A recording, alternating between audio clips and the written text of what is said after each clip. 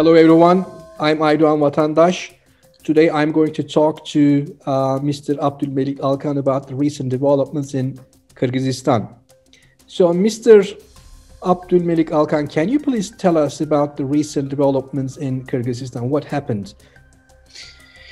Um, according to a couple of sources that um, at Turkish, actually, he is the Kyrgyz, hold the citizenship of the Kyrgyzstan he was abducted by unknown people, which is uh, revealed that it's going to be the Turkish intelligence working. Maybe uh, still we need to confirm the sources, but he was abducted uh, in front of his um, car. Actually, he was running to his car 9 p.m. and he found that his tire is flat. And then, um, then they round them up and put them in an unknown car and uh, take them to the airport. This is the source that we know. The students run to today to run to the um, embassy, Turkish embassy to protest and want their uh, educator, the teacher, back. No, uh, Orhan Inandı has been there in the 1990s. It's been like 25 years. He's one of educators and praised by many officials, presidents, open the schools and then there's uh, schools under the Sapat company.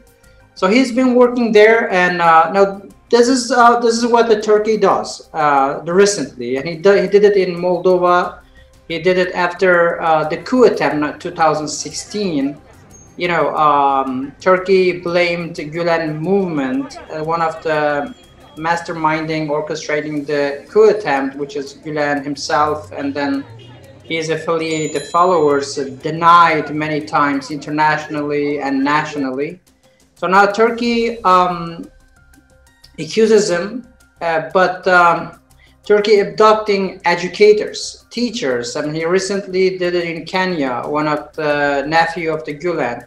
He has not been involved in any uh, offensive activities, but his last name is Gulen, so they thought that it will buy you know the public. Uh, so uh, and it did it in Moldova. Six teachers, 2000 2018, um, were abducted from their houses in front of their houses, in front of their families, and they taken to the Turkey. But the European Union uh, fined Moldova, uh, Moldovan intelligence services who were involved in this um, disappearance, this forced disappearance, abductions. Now, this all um, defines that the Turkey transnational repression that Turkey carry out to outside, mm. to abducting the people, the innocent, the people they have never been in Turkey during the coup attempt. But what mm. Turkey does, and it's been reported now, Turkey is violating the, the international law Turkey is a member signatory state of those law disciplines under the OCC and also under the Human Human Rights uh, Council, Human Rights uh, Court and the European Union because it has like 19 articles about the forced disappearance. And Turkey himself is a member of the human trafficking under the UN. Turkey mm. recently, uh, several 2002, 2013, signed an agreement, bilateral agreement with a couple of countries about the human trafficking, and Kyrgyzstan is one of them. So the basically Turkey. But I, I would like to underline that Turkey, there is no uh, disappear, forced disappearance. This is not my topic. This is not my expertise. I think uh, it's, it's, it's better to talk uh, international mm -hmm. law, lawyer or international law. Yeah what do you think about the uh, reactions from Kyrgyzstan government because their sovereignty is being violated in that case? so how do they react to it? That's that's very good questions. Actually, under the UN, in internationally, in this political science, every state is sovereign, is fully integrated, sovereign and integrate territory integrated. So every state should respect to uh, this sovereignty. But what we understand that Turkey is not respecting the sovereignty of A state or B state because Turkey is going to there, or maybe they were there under the embassies.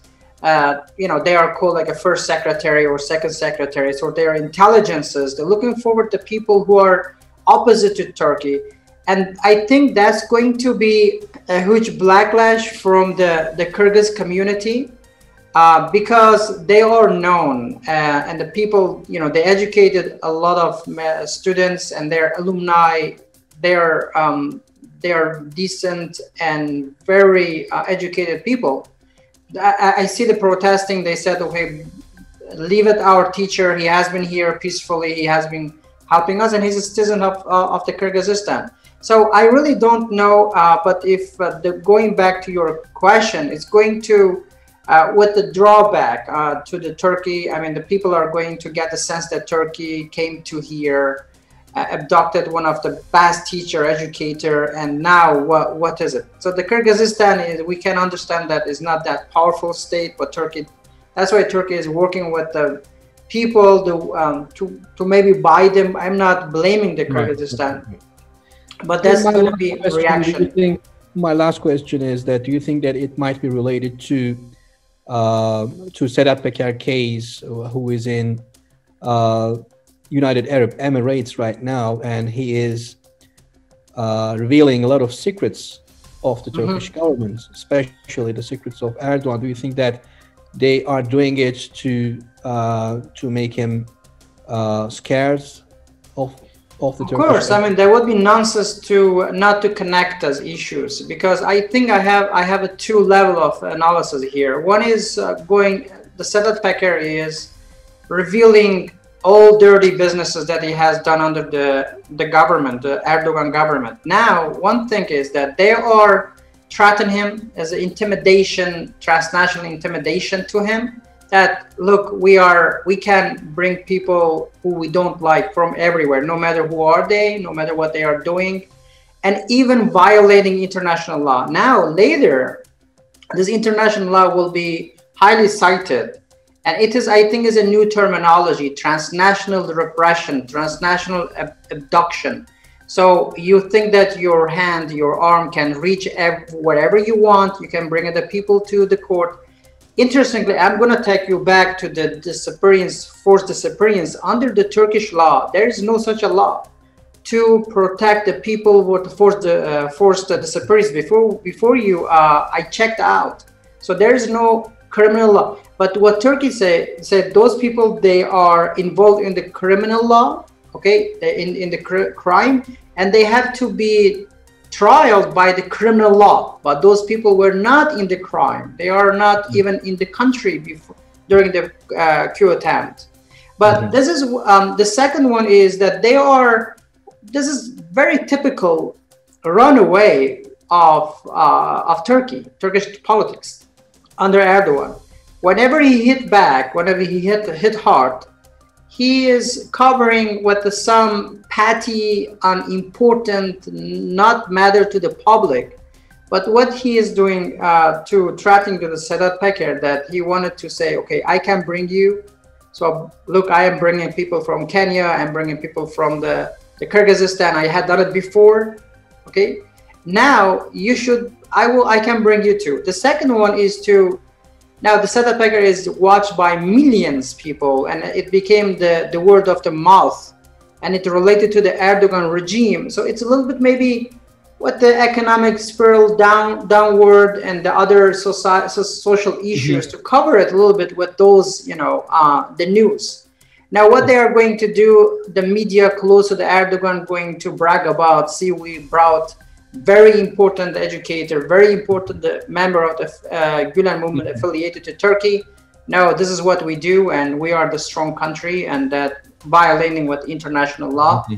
And I think there will be a huge consequences, grave consequences for Turkey into international arena, and people start writing and speaking mm-hmm. about it.